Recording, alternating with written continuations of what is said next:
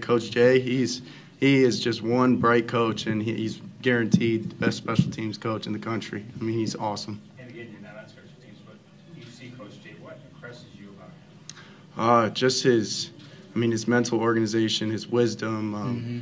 I mean, that that guy is just one that could you could put him in any situation, and he's going to be ready for it. He's going to be able to adapt.